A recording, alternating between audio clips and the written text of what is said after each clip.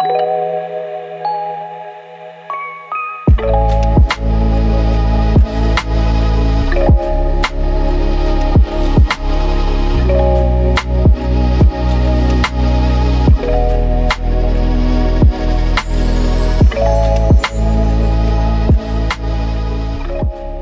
I'm gonna show you guys how to do a chest supported row to bias the lats. Now, for many of you, your chest supported row is going to be either a machine that's selectorized where you pull the pin in and out, or plate loaded where you're working off like a T-bar.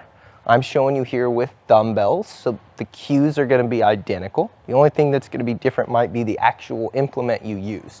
But what we're looking to do here stabilize the chest and the rib cage by being flat against the pad so we have a lot of stability.